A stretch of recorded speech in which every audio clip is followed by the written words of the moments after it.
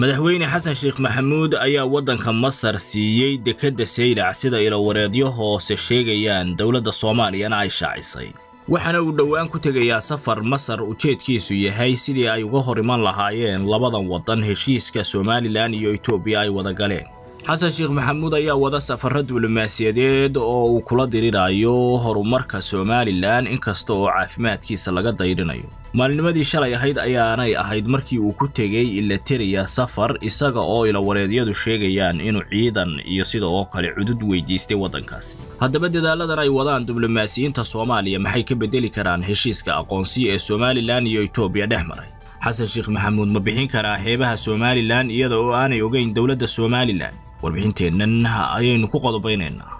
madaxweynaha soomaaliya iyo diblomaasiyiinta magaalada muqdisho ayaa geed dheer iyo geed gaabanba waxa ay u korayaan safgaradka somalilan iyo etoobiya dhex maray sidii ay u baajin lahaayeen. Iyaga oo dacwado iyo dadaallo badan oo ay sameeyeenna kala kulmay wejigabax siyaasadeed iyo rajaxumo ayaa wakhtigan xaadirka ah waxa ay wadaan. Iskudayadii ugu dambeeyey ee ay kaga quus qaadan lahaayeen sidii ay u soo afjari lahaayeen heshiiska kan madaxweyne xasan sheekh maxamuud ayaa safar ugu kicitimay waddanka ilateriya kaasi oo uu ku weydiisanayo cod ciidan iyo cudud waxaana sida la ogyahay etoobiya iyo ilateriya u dhexeeya xurguf siyaasadeed oo soo jireen ah taasi oo ay si weyn cilaaqaadkoodu u soo kabanayay muddooyinkii ugu dambaysay ilateriya ayaana kumanaan kun oo ciidan u tababaraysay dowladda soomaaliya muddooyinkii ugu dambaysay madaxweyne xasan sheekh maxamuud ayaa safarkiisaasi ku wajahnaa laba qodob kaasi oo uu mid ahaa dhinaca diblomaasiyadda. Iyo marka la joogo urur goboleedka igad inay codka ku taageerto dowladda ilateriya soomaaliya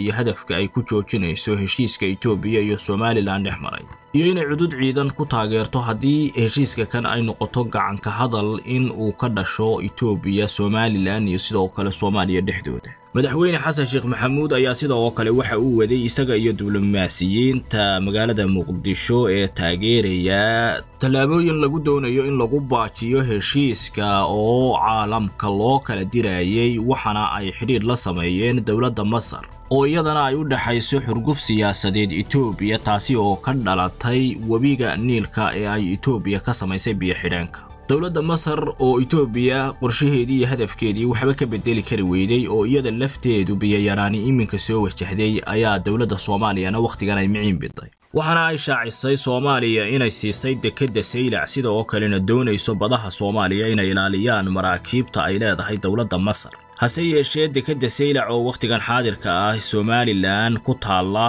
ayaa aanay suurtagal ahayn inay soomaaliya bixiso. Iyada oo aanay somalilan ogeyn wax wada tashiyana laga samayn soomaaliya ayaana doonaysa inay ku tagrifasho awoodda aqoonsi ee wakhtigan xaadirka ah ay haysato saddex iyo soddonkii sannadood ee ugu dambaysayna iyada ayaa ku amar ku taaglaynaysay. Waxaase arrintaasi soo afmeeray heshiiska isafgarad ee etoobiya iyo sidoo kale somalilan dhex maray iyo saxiixa diblomaasiyadeed ee laga hayo madaxweyne xasan sheekh maxamuud oo ah kan keenay jahwareerka siyaasadeed ee ku dhacay wakhtigan soomaaliya tanina waxa ay keentay gebidhaclayn badan oo dhinaca diblomaasiyiinta soomaaliya ah iyo guuldarrooyin iyo wejigabax siyaasadeed oo ay kala kulmaan caalamka. Maadaama oo aanay awood u lahayn meesha ay sheeganayaan madax bannaanideedana ku muransan yihiin inay tagaan amase ka fuliyaan heshiisyada ay la gelayaan dowladaha kale. Dowladda masar ayaan iman karin xeebaha somalilan iyada oo oggolaansho ka hesha jamhuuriyadda somalilan marka laga reebo masar ayaa si rasmiya uga baxday wadahadalladii dowladda etoobiya kala dhexeeyey ee dhinaca biyo-xidheenka kadib iskaashaanbuursiga soomaaliya iyo wadahadallada wakhtigan ka dhexeeya dowladda federaalka ah ee muqdisho xarunteedu tahay. Taasi oo ay doonayso si wada jira inay ula qaado heshiiska is-afgarada ee aqoonsi ee somalilan iyo etoobiya dhex maray joojintiisa.